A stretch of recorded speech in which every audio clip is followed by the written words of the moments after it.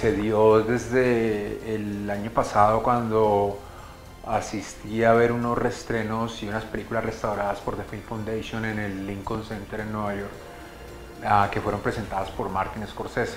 Una de ellas fue One Jax, que la trajimos a Indigo, eh, junto a The Film Foundation eh, de Martin Scorsese y Margaret Boat eh, y Par Circus, pues creamos este festival que tiene el apoyo también de, de Cine Colombia.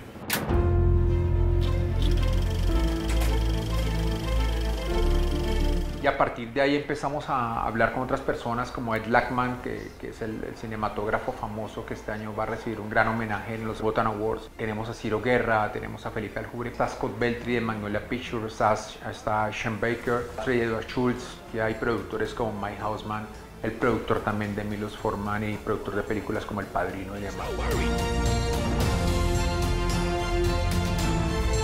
Tenemos unas restauraciones que, que, acaban de salir y se, se estrenan, por ejemplo, en el, en el, New York Film Festival ahora hace unos días.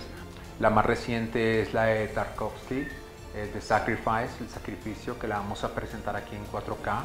Y también la nueva restauración de The Night of the Living Dead de George Romero. Sancho de Bailey se presentó en Venecia este año y muchos de los críticos dijeron que, que, era la mejor película del festival, la película que tiene más de 30 años para hacer un restreno. Esas películas junto a Vértigo, eh, Predator que está cumpliendo 30 años, vamos a tener los 40 años del de, encuentro cercano de tercer tipo de Steven Spielberg. Vamos a tener El Rey León, que la vamos a presentar en 3D y en 2D, y vamos a presentar también La Bella y la Bestia en 3D y en 2D.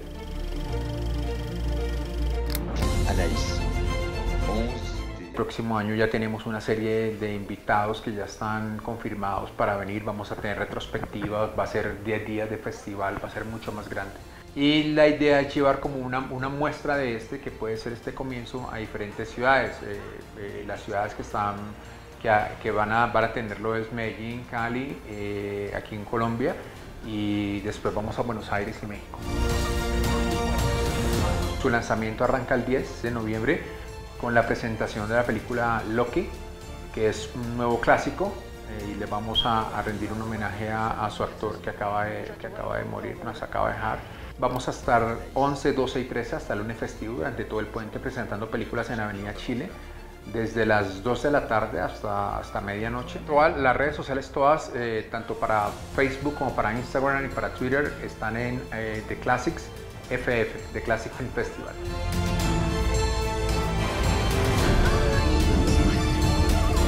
The Classics, el festival de las películas que vivirán por siempre.